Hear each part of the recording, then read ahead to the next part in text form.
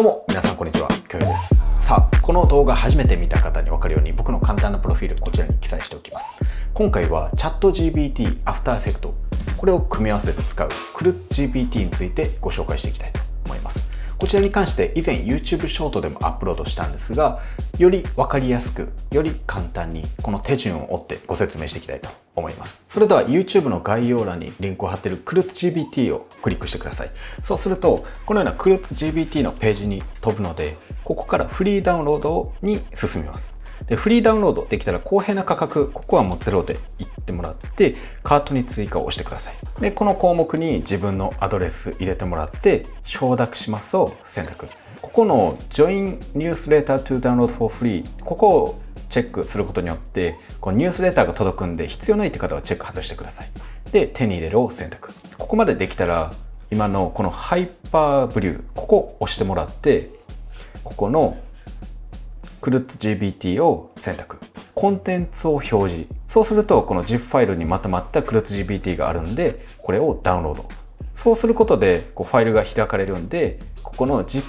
ZXP インストローラーここを押してもらってあとはクルーズ GBT のところをダブルクリックすることによってこうアフターエフェクトに取り込まれるのでアフターエフェクト開くとここのウィンドウのところに Klutz エクステンション見てもらうとクルーズ GBT が取り込まれてるんでそれをクリック。します。そうするとこのようにクルーズ GBT が反映されたと思います。この GPT を使うには OpenAI の API キーが必要になってくるのでこれの探し方今から見ていきます。まず YouTube の概要欄にこちらもリンクを貼ってるんでこちら参照してください。そこをクリックして進むとまず登録が必要になってきます。そちら登録していただくとこのようなページダッシュボードに移動します。移動できたらここの View API キーを見てもらってこれで Create New Secret キーを押してもらいます。ここに名前を追加 CruiseGBT で Create Secret キーここは見せることができないんですがこのように API キー表示されるんでそのままダウンで閉じてください。さっきのアフターエフェクト戻ってもらって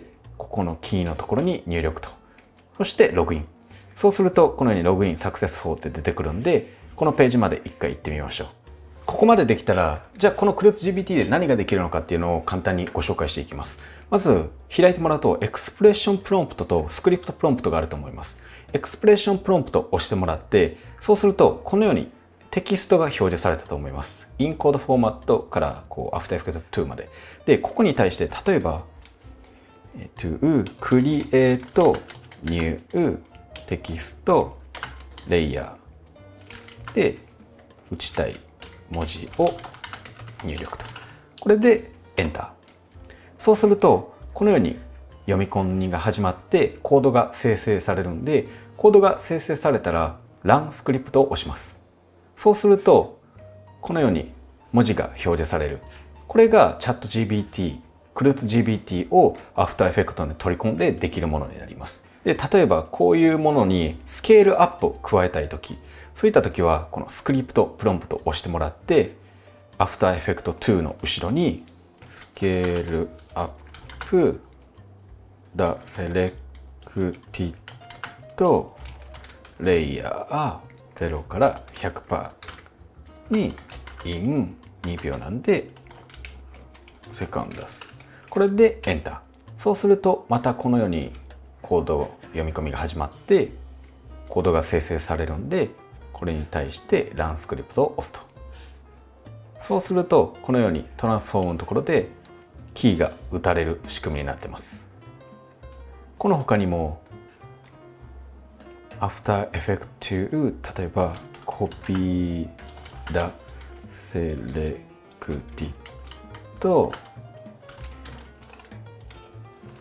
レイヤー5つ表示させたいときこう5 times and place. Place it randomly in in the フレームと。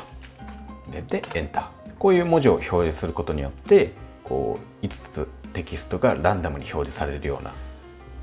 このような仕組みになってます。このようなクルツ GBT を After Effects に取り込んで使いこなすことによって編集の時間効率だったりスピードアップにもつながるんでぜひこちら AI のツールまだ使ったことがない方はぜひ使ってみてください。でここのスクリプトに関しては YouTube の概要欄にも貼ってるんですけど、クルツ GBT がフォーラムであったりコミュニティを作ってくれてるんで、そちらにいろいろ様々なスクリプト表示されてるんで、ぜひそちらも参照してもらって、自分自身のこう使いやすいように、どんどんどんどんこの AI を育てていっていただけたらなと。思います。今回はこのような形でチャット GBT を After Effects に取り込むためにクルツ GBT というものの使い方、こちらをご紹介してみました。こちら良かったなと思ったらいいね。そして様々な使い方やって、これいいよっていうのがあったらコメント欄でぜひ教えてください。さあ、それでは今回も最後までご視聴いただきありがとうございました。僕自身が運営するブログでは様々なプリセットも公開してるんで、ぜひそちらもチェックしてみてください。それではまた次回の動画でお会いしましょう。それでは。